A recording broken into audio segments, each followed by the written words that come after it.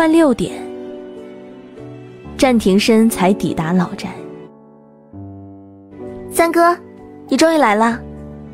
战庭生不动声色地扫了眼客厅，没有看到某个小丫头。爷爷，思思呢？一来就思思思思的，到底谁才是你的亲妹妹啊？相思那丫头没跟你一起吗？战庭生皱眉，什么都没说，转身朝堂屋外走了去。三哥，战锦文捏着拳头愤愤追了出去。锦文呐，你去哪儿啊？别管了，那小丫头从小就年轻身，估计是爬山走远了，所以跟着跑出去了。我就怕锦文跟相思一碰面就闹得不可开交，这两丫头估计天生八字就不合，见面就掐。我现在都不太明白，庭深当初为什么要收养。行了，我不是说过吗？不准再提这件事。相思虽然不姓战，但他是我战家的人，在我心里，他跟这个家的每一个人都是一样的。知道了。后花园，战庭深冷眸精准地扫到了靠坐在秋千椅上的聂相思，只不过聂相思此刻闭着双眼，似是睡着了。三哥，你等等我。三三叔，过来。聂相思点点头，从秋千上起来，朝他走了过去。你什么时候来的？刚到。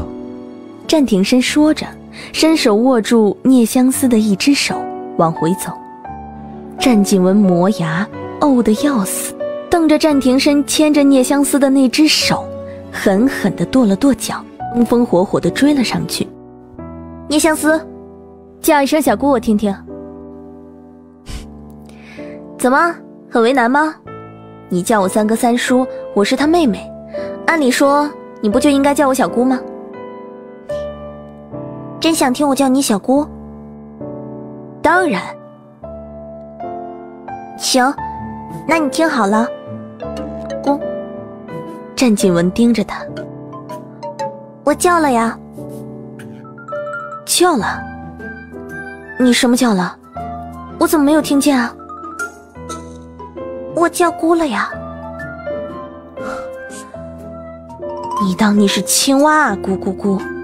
聂相思婉唇不再理他，拉着战庭生快步朝前走。战建文见到自己又一次被甩到后边，气得差点吞吐。相思，多吃点你可比你上次来的时候瘦多了。相思，今年高三了吧？是的，奶奶。毕业之后留在国内上大学，还是出国？自己有想法吗？不出国，就留在同事。我问相思呢。战庭深薄唇抿直，冷眸幽沉，凝向相思。我听三叔的。相思这话一出，引得盛秀竹的眉毛皱得越发紧了。留在国内也好，这样太爷爷想你的时候啊，也方便过去看你。聂相思轻轻挽了挽战耀的胳膊，心口很暖。吃完晚饭，战庭生便带着聂相思回了珊瑚水榭。两个人刚从车里走下来，就下起了雨。战庭生拿出车里的西装外套盖在聂相思的头上。宽阔的大掌握着聂相思的肩头，带着她朝别墅里快步走去。三叔，你对我真好。战庭生冷眸快速掠过什么，垂眸看着相思。这晚的雨出乎意料的大，后半夜甚至电闪雷鸣。聂相思躲在被窝里，只露出两只乌黑澄亮的眼睛。一眨不眨的盯着落地窗外那一道道划破天际的闪电，心脏砰砰狂跳。聂相思忽然掀开被子，赤脚从床上跳下来，径直冲向了房门，开门便跑了出去。隔壁房间，聂相思轻手轻脚的带上门，便快步朝房中央的大床走去。单薄的身子像一尾鱼，从薄被里滑了进去。三叔，今晚的事就当什么都没发生过吧。毕竟这是误会，当做什么都没发生过。聂相思站了两秒，为避免继续待下去更尴尬，十根脚趾头动了动，就要转身出去。回床上待着，不怕打累了。仿佛是应战庭身这句话似的，他话音一落，外面便响应的传来了一道惊雷。聂相思肩头狠狠一缩，白着一张脸，想都没想，朝战庭身冲了过去。有三叔在。聂相思在他怀里紧紧的闭上眼睛，一对长睫毛却无法抑制的轻轻颤动。他的父母，就是在这样的雨夜，永远离开了他。你的初吻，我怎么舍得当做什么都没有发生？小笨蛋。聂相思安心地靠在战庭生怀里。快要睡着的时候，模模糊糊听到战庭生说了什么，但具体是什么，他没听清。我想去啊，想去就去呗。我三叔不同意，我能怎么办？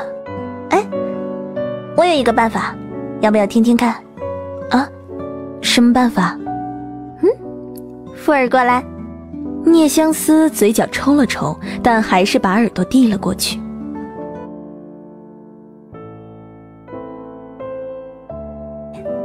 怎么样？哦，不好吧？聂相思犹豫，但看着夏云舒的眼睛，却分明已经是决定采纳的亮光。下午约莫五点，战庭深从公司回来。喂相思呢？小姐说要给您准备爱心晚餐，这会儿正在厨房忙活呢。爱心晚餐？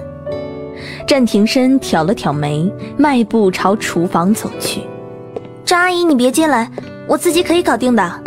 战庭深双腿一顿，停在了厨房门口。聂相思笨拙地拿着菜刀，一下一下小心切着砧板上的生姜。再说，软腻轻颤的嗓音浮入战庭深耳里，就像一把火，直撩进了他的心窝。思思，一整夜的肆意，畅快淋漓。清晨的阳光从窗户缝隙中洒入，战庭深蓦地睁开了冷碎的寒眸，他下意识地看了眼身边的床位。空空如也，这意味着昨晚也不过是一场梦。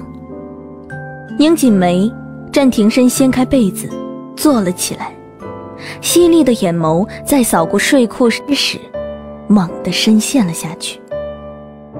扣着衬衣纽扣从衣帽间出来时，就见聂相思穿着纯白校服，乖乖地坐在他的床上。三叔，嗯。今天不是不用去学校吗？怎么穿着校服？班主任说，不去参加球游的同学得去学校上自习。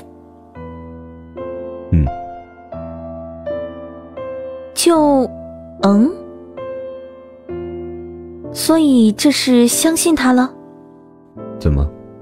嗯，没。蔚然高中校门口，相思。咱班的坐校车已经去了秋游的地点，刚才给咱们班长打电话，说是快到了。啊，云舒，我什么都没带，要不要去买点什么？不用了，咱们班用班费买了食材，准备自己动手烧烤，所以你除了你自己啥都不用带。那就好。聂相思和夏云舒抵达目的地时，大伙。已经开始烧烤了。聂相思是第一次参加这种活动，所以还是有点小兴奋的。